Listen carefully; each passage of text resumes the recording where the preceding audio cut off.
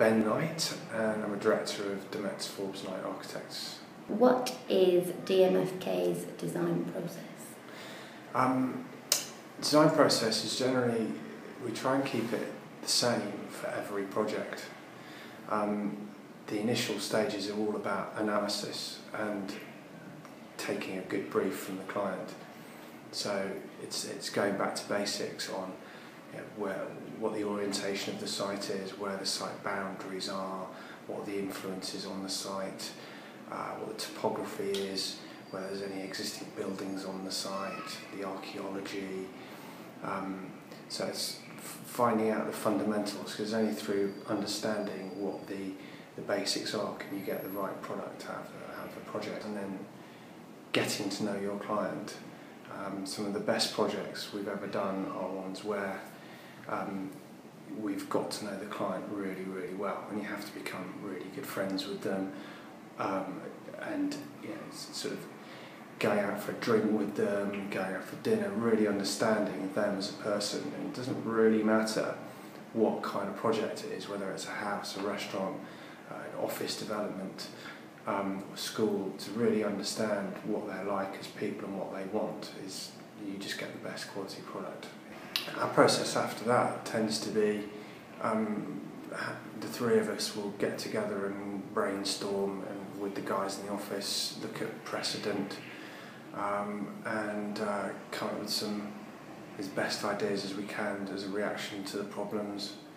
Um, we tend to uh, do a lot of drawing by hand at that stage, uh, getting uh, SketchUp models made, um, but it is, a, it, it is quite a linear process um, through that, and then you're understanding the planning parameters, building control, all those sorts of things, and reiterating ideas until you come up with something that's really got some potential. What makes the company unique? What makes us unique? I guess it's about um, our approach to, to context, and we, you know, we love uh, patina in buildings, and you know, we love things to wear well. Uh, that's going to stand the test of time. You know, we, we, we for example, I've banned using timber cladding on our buildings because it, I go around town and I just uh, see all these badly worn buildings. I think it's really important that um, you know, buildings need to last a long time. Um, unless it's a temporary building, of course, and then it's fine. But um, so I think it's a, yeah, it's a combination of the, the three of our characters in the office and our approach to you know, building things that will will last. Um, can you tell us a bit about Eastbourne Terrace? Yeah, um, th- this is a, um, a really one of my favourite projects actually, certainly of the, of the last couple of years. Um, it's quite a big project for, uh, for us in terms of uh, the size of it. It's about 40,000 square feet and it's in the uh, uh, west side of Paddington Station. Uh, runs. It's a very long building. It's about half a kilometre long and uh, we're doing uh, probably a, a quarter of its length over four floors. Um, this is originally designed by Brunel, uh, it's grade one listed, and uh, Network Rail had been in occupation in building for the last 30 or 40 years. Originally it was built for the Great Western Railway, it was their accountants' offices, and the lucky accountants had ballroom spaces, it was just like they'd scale these rooms, it's absolutely insane. Uh, the lovely view over Eastbourne Terrace one side and the railway tracks on the other.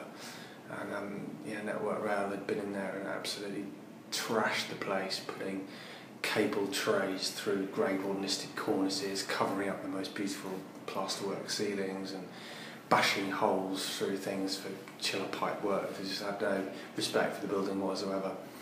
And uh, it was my client uh, quite bravely took a, a lease for a number of years in conjunction, uh, sorry, from Network Rail. It's kind of a joint venture uh, to convert it into serviced offices.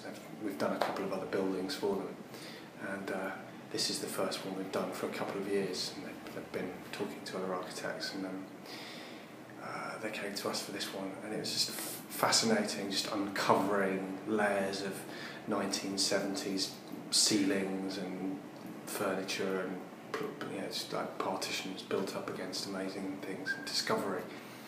Um, so we were around when it was being stripped out, and, and we, we had to develop the design as we saw more and more things be being revealed. Um, and the the architecture of the building, uh, well, it's it's not really architecture; it's fit out work. is is all about putting stuff back into the building that is appropriate to its age and its classification as a grade one building, but making it clear that what's new is new. So we're not taking a pastiche approach about it. It's all about being yeah, clear about what's new.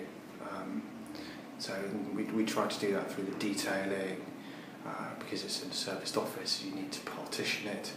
Uh, some of the spaces where we fought very hard to, like the main ballroom space, to not actually put any partitioning in there and try and create divisions within the space by uh, low-level screens and such like. So um, we it was it was fun to develop a uh, a language that could be used throughout the building. Um, a lot of that language had to come from the servicing. Uh, so it's, it's exposed services, but in one room we couldn't really have exposed services, so it developed a language of furniture that was also servicing and also dividing, dividing the room. You have carried out many private and social housing schemes. Um, do you think it's important to preserve old buildings or build new ones? I think it's important to preserve old buildings if they're worthy of preservation. Um, and it's important to understand where you can knock something down and rebuild it and sort of how you make that judgment. Sometimes it's quite subjective where you actually where the line is that you draw between good enough to keep or bad enough to knock down. Uh, but I think they're both equally important. It's just making that making that judgment of which is the right place. How do you approach the design of the Urban Splash Islington site for the affordable housing? How did we approach it? Well, um, that was such a long time ago.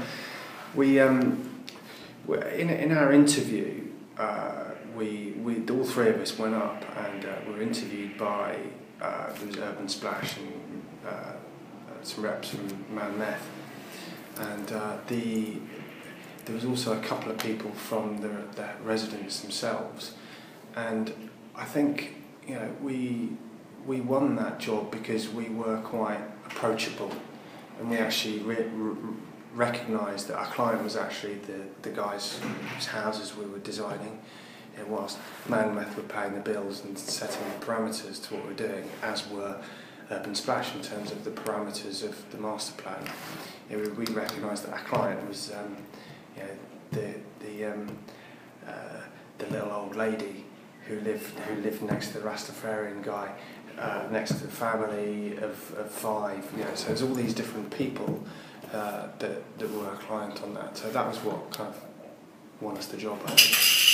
Um, and our approach initially was to uh, understand from them what their criteria were.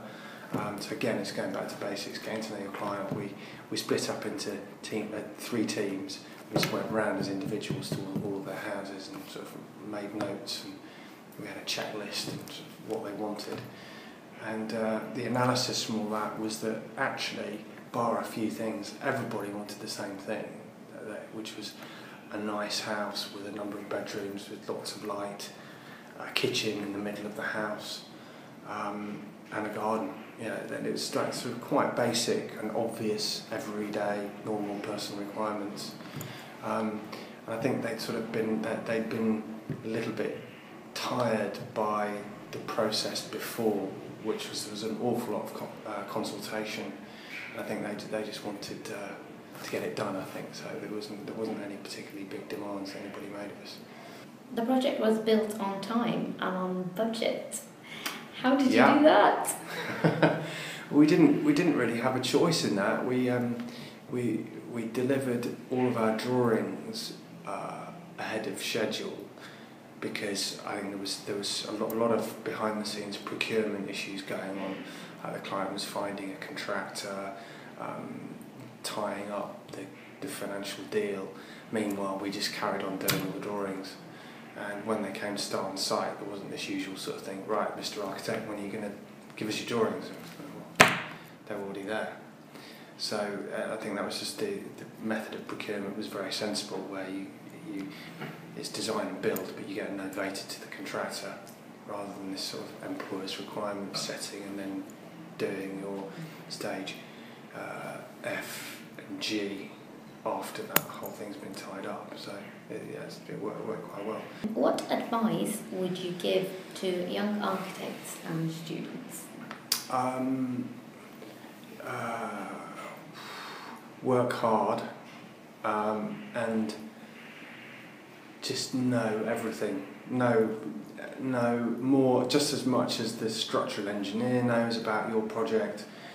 Know everything about the context. It's only through knowing and knowledge about what job you're working on can you really get a good solution.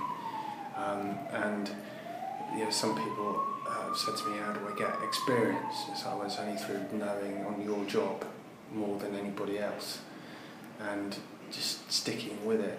And um, yeah, you guys know the only way of getting experience is to work hard and get it. You know, um, work in your school holidays for an architect, work in your summer holidays, work in your Christmas holidays. Just be in an architect's office, even if you have to do it for free. Just being in an office is the most important thing, and. Um, just have your ears open at all times in the office, listen to what's going on around you, and um, even though it's not relevant to your job, you sort of you just pick stuff up. Yeah, there's nothing worse than wearing your headphones in an office because you don't know what's going on or you know, anything. So.